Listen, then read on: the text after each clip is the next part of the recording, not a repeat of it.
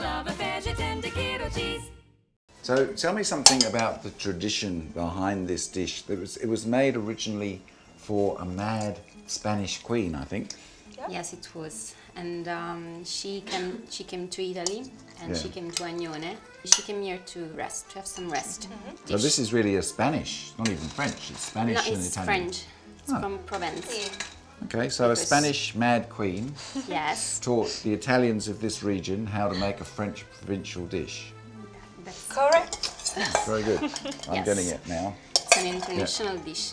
Okay, so now we get the broth. Il brodo chiaramente viene molto sgrassato. So what's been in there? Just chicken?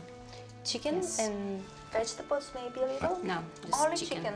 It reminds me Bellissimo. of home. Buonissimo.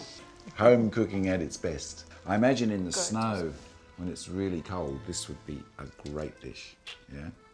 The soup is allowed to rest to absorb the flavour of the broth. And for all the budding chefs out there, the ingredients are oven cooked croutons, a pizza bread made with cheese, beef and chicken meatballs, deep fried balls of egg and caciocavallo, and cubes of one and two year old cheese.